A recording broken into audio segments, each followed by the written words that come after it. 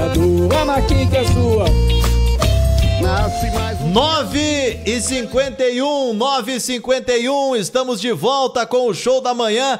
19 graus a temperatura neste momento em Canguçu, uma temperatura agradável, muito agradável. Estamos ao vivo também em formato de live no Facebook, na página do Facebook da Rádio Cultura, a todos que estão nos acompanhando aí pelo Facebook. Também o meu carinho, o meu muito obrigado pela audiência e pela preferência. Eu tenho a grata alegria, a grata satisfação de receber por telefone meu grande amigo Rudinei Borges. Tudo bem, Rude? Seja bem-vindo à Rádio Cultura. Satisfação imensa. Bom dia. Bom dia, meu amigo Marcelo. Bom dia, o Maurinho, que está lá embaixo. Bom dia, o Fonsequinha.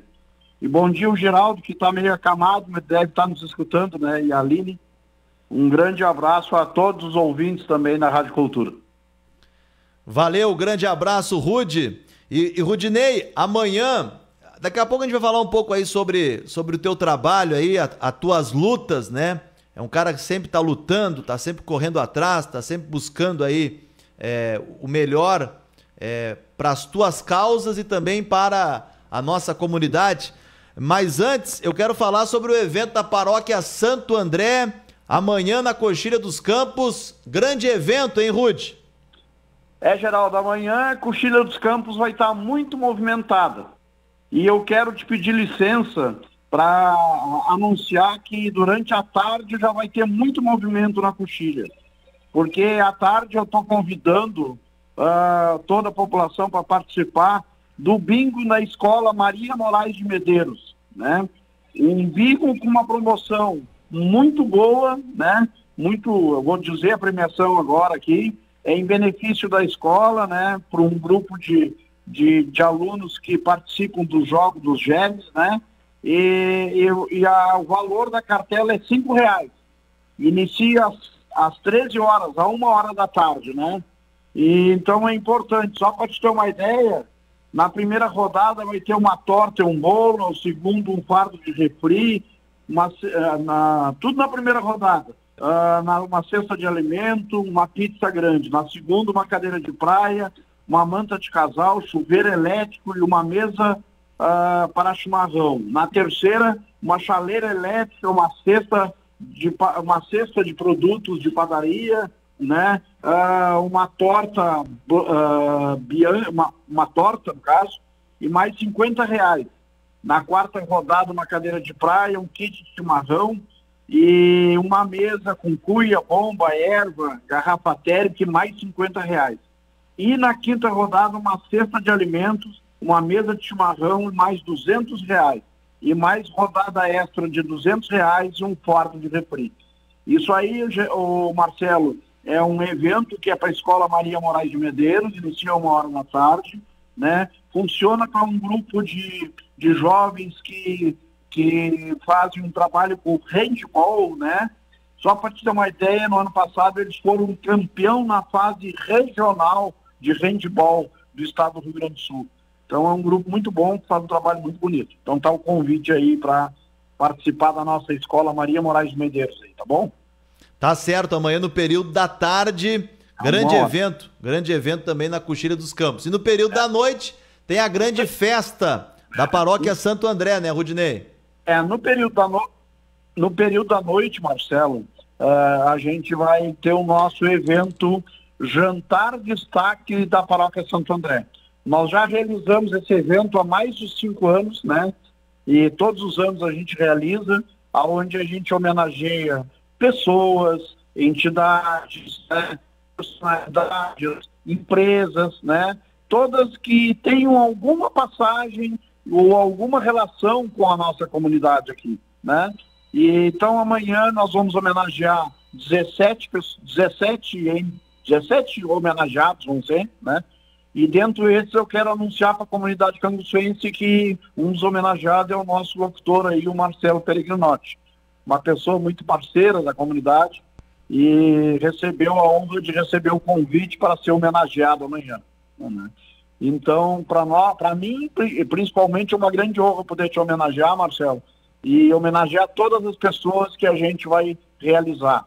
vai ser um evento, eu até brinquei contigo que tu trouxesse um lencinho, né? Uhum. Mas vai ser um evento muito especial, assim, aonde uh, eu faço um trabalho, assim, de, cada, de, de minar a vida da pessoa, assim, de saber o que, que a pessoa já fez e participa, para poder anunciar e homenagear. Então vai ser um evento muito lindo, muito bonito, assim. Que legal, muito obrigado, eu fico honrado, muito feliz, né? E, e será uma honra, uma satisfação muito grande estar participando com vocês lá na paróquia Santo André. Vocês que fazem um trabalho fantástico, né? Que merece o nosso reconhecimento, que merece também a nossa homenagem, né? E, e com certeza será uma honra estarei presente lá com a minha família amanhã, compartilhando desta bela noite. Como é que vai funcionar esse jantar? Ele é aberto à comunidade? Olha, Quais olha, as Marcelo, principais atrações, Ruth? a notícia que eu tenho para dar. A gente não tem nenhum ingresso mais para vender. Não tem os ingresso reserv... mais? Não, os reservados já estão reservados, né? E nós temos quase 200 pessoas confirmadas. E como a gente gosta de acomodar bem as pessoas, as pessoas ficarem sentadas, né, na sua mesa, porque vai ter um jantar, né? É, um jantar com churrasco depois, saladas, aquelas coisas todas. Então a gente gosta de acomodar bem as pessoas. Então nós colocamos no máximo assim de 180 a 190 pessoas. E isso já está esgotado. Esgotado. Nós não temos como colocar mais ninguém. Inclusive até o próprio pessoal da comunidade não tem muitas vezes da comunidade aqui, muitas pessoas não podem participar por causa disso, né? Por causa que se homenageia as pessoas, as pessoas trazem seus convidados, né? E aí é isso que acontece. Mas é um evento muito lindo, né? Muito lindo. Eu tenho certeza, Marcelo, que tu vai gostar. Vai ser muito legal, assim.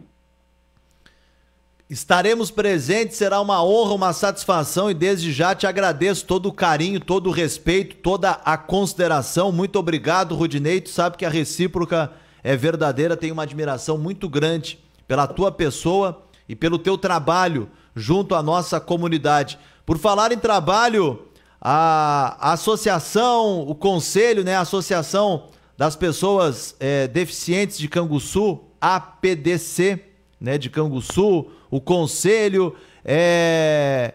como que estão as atividades? O que que tu pode atualizar para nós, Rudinei? Bom, a Associação Educacional e Cultural Canguçu, atualmente o presidente é o Augusto Pins, porque eu tive que me licenciar por o tempo, por eu ser um pré-candidato, né? Então tive que me licenciar. É, mas a, o Augusto está tocando o trabalho, está muito bom, está andando, eu venho acompanhando, né?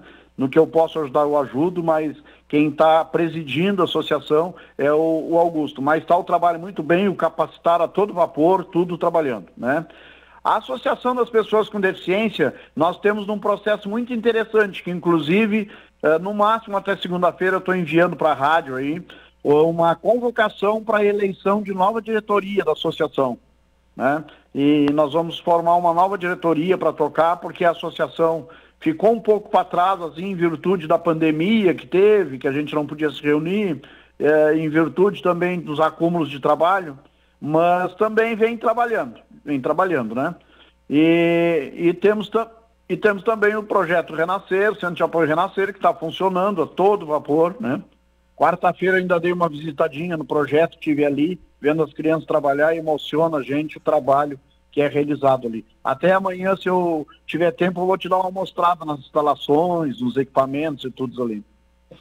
Tá certo, e será um, será um prazer também a gente é, ver, acompanhar e também divulgar. Então, quando tiver mais informações, tu podes nos repassar, né, Rudinei? Eu tive uma conversa contigo há poucos dias, tu estava acompanhando aí o deputado Alexandre Lindemeyer, deputado federal, e o deputado é, José Nunes, deputado estadual, é, entregando emendas importantes para a nossa comunidade e que teve também a tua, a tua contribuição, a tua participação, né, Rudinei?